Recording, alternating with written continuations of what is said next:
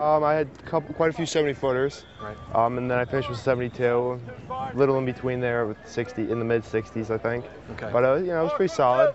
You know, I found some flaws I can work on for this week at practice. So can't see anything while I'm throwing. So. Okay. Um, yeah, I, I can't have a, my A game all the time while I'm in the circle. Sometimes it just break down. So I can't you- produce constantly everything. Okay. No pressure on myself. It's just another me. I'm just gonna go out and throw. Nothing to really worry about.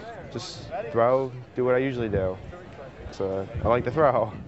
Pretty much when I go out in the middle of the sector, I just look for the middle of the circle. Nothing's going through my mind. Nothing goes through my mind Right. while I'm throwing. It's just me and the ball, and that's all I care about, and just trying to do my best. Um, you know, I'm very happy I move on to the Meet of Champions, but uh, I got some work to do, and uh, we got plenty of time before then, before I think about it.